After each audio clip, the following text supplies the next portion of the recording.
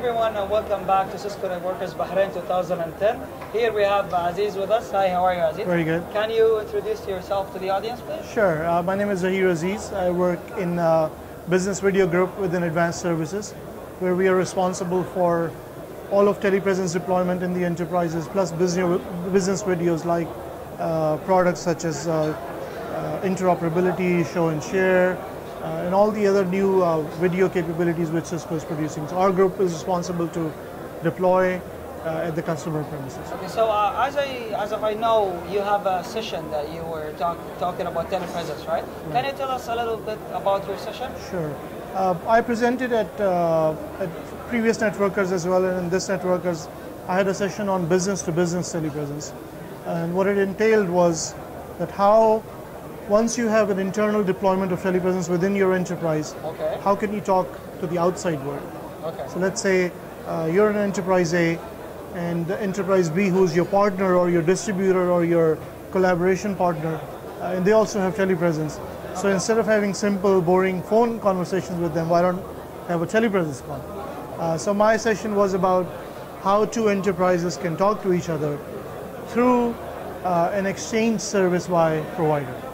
Uh, so telepresence exchange built by the provider who would connect the two enterprises together. Okay, so enterprises now, like a phone call, they can just call any other enterprise and can have full HD quality uh, video communication with uh, with the two companies. That's right? the goal. That's the goal, That's right? the goal. So okay, so how about uh, uh, in the future? Do you think telepresence is a future technology, or it's now in the future?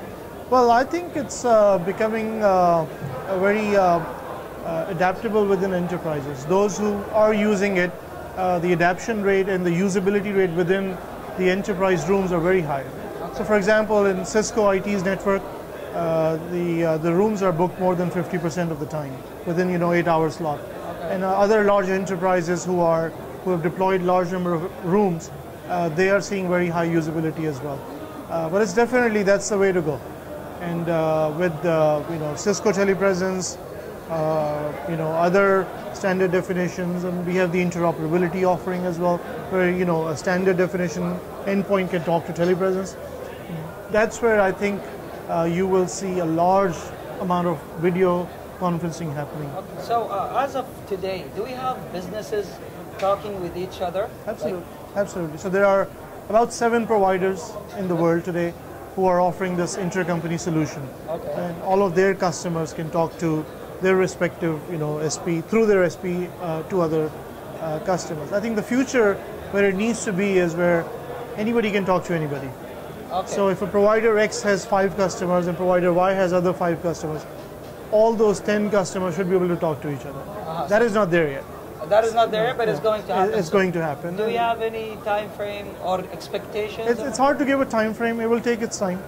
Uh, but because uh, there are a lot of challenges which needs to be overcome, uh, and SPs are eagerly working to actually solve those problems. Because it's like a phone phone service, right? Yeah. Uh, you cannot have a closed user group phone service. yes, You, is you should be able to just pick anybody and, and dial. And if, if I know that you have telepresence, I should be able to dial you. Yeah, that, right? is, that is absolutely true.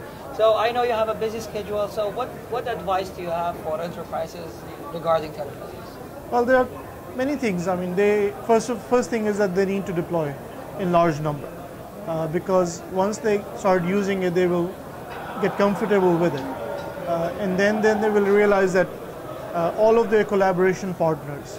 Uh, if you take any example of educational field, for example, Okay. uh, you have a campus in Saudi, the other uh, campus could be in Bahrain, and the professor is sitting in Dubai. Uh-huh. So professor in Dubai can present at the same time to uh, students in Bahrain and also in Saudi. And you could have an end-to-end meeting, uh, fully collaborated, uh, and you can imagine, you know, the benefit of such kind of uh, meetings.